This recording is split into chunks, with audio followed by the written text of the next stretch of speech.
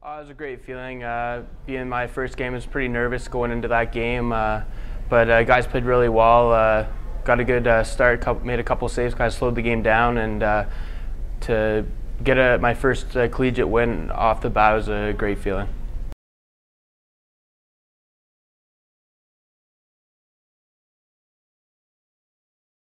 I think just staying focused. Uh, in between periods, I like to kind of listen to some music and uh, stay focused. The guys did a tremendous job back checking, keeping the shots to the outside for the most part, and uh, the team just played solid. So um, was a great win for us.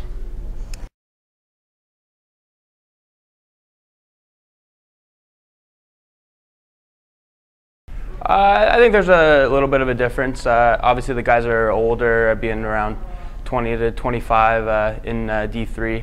Uh, I'd say the uh, they're a little bit faster, um, a lot stronger in uh, this league. So just kind of getting used to the speed. Of, it's been a bit of an adjustment, but I think myself and the rest of the freshmen, along with the team, have done a good job.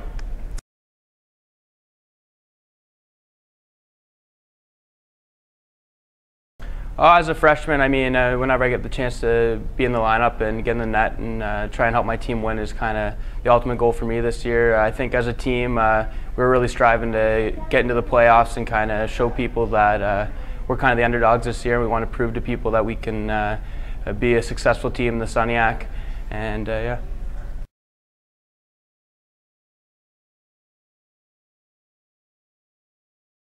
Uh, it's been a bit of an adjustment uh, coming in as a freshman, as a 21 year old. Took a couple years off school, so uh, dealing with uh, getting used to schoolwork and everything has been all right. Uh, the profs and the students have been really helpful, and uh, it's definitely been a great experience to start.